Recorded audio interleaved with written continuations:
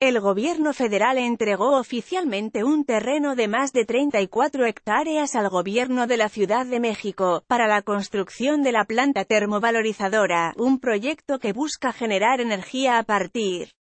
de la combustión de basura, proyecto presentado por Miguel Ángel Mancera, cuando era jefe de gobierno de la CDMX. Sin embargo, la próxima jefa de gobierno, Claudia Sheinbaum, reiteró su rechazo al plan.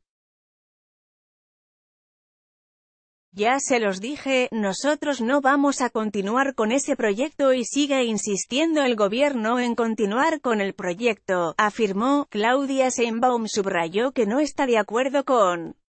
la planta de termovalorización y con el biodigestor, se lo volvemos a decir al jefe de gobierno, a la Agencia de Gestión Urbana, no estamos de acuerdo con esos proyectos.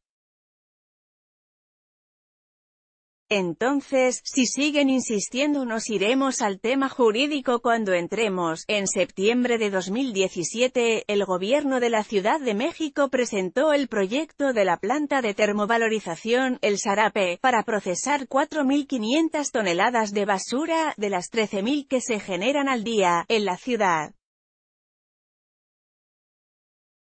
La planta sería construida en terrenos federales del Bordo Poniente, por parte de la empresa francesa Veolia, especializada en el tratamiento de residuos y que invertirá 12.000 millones de pesos.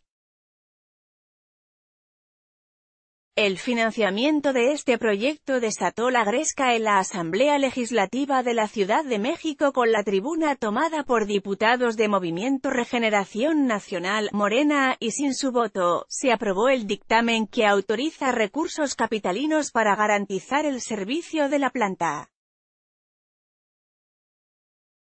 En noviembre de 2018, César Cravioto, coordinador de Morena en la Asamblea Legislativa de la Ciudad de México, dijo que la construcción de la planta termovalorizadora es un proyecto que le va a generar una responsabilidad fiscal y económica para la ciudad por 100 mil millones de pesos para los próximos 30 años, los diputados de Morena impugnaron el dictamen, por considerar que hay otras maneras de tratar la basura.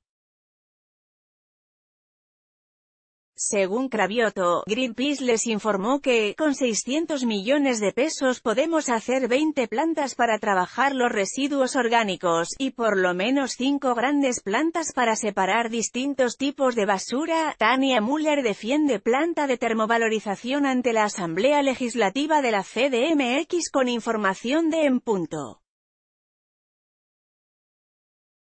RMT